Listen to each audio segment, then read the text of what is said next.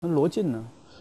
罗晋其实一直是一个特别用心的，一直在线，对 是吧？对他呢，特别让我们惊讶的是，罗晋的台词真的是，我就第一次看导演初剪的时候，我就觉得，哦，他的就因为我们台词，不应该怎么讲，呃，不完全生活化，是有一点文学感。这个我们俩一贯的，对，都不是说那种完全是生活。我们也稍微有点任性的小坚持。就反正我们平时生活说话，我们俩就有点这样，你也知道，你也有点这样，就是有文学性在里面。所以罗晋在这个台词度的完成上非常让我惊讶。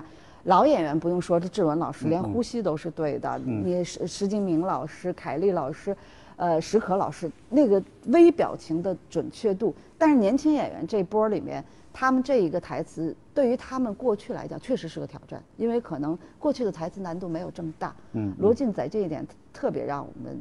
惊喜，我觉得罗晋基本上，他把我们想，就是写的这个舒澈演得更加的柔软。嗯嗯。因为我觉得，我们原来可能剧本里的那个更成熟坚定一点，我自己是是就努想了想，他就是应该柔软的，他就是应该脆弱的。他在辨识和找寻自己，然后被摧毁了，自己把自己发配到柬埔寨去了。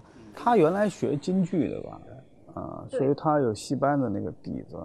所以我觉得他在塑造人物，他对城市，对就是城市化，他是熟的。然后他在电是电影学院的哈，他是一个演戏太走心的演员。我觉得他已经是完全是沉入 沉浸式的表演。这个也跟对手戏有关系。你比如说，他很大的一部分戏是跟志文对戏，那你想王志文的那个气场，我曾经一度都很担心，说这个不是会被怕，就担心接不住会被碾压吗？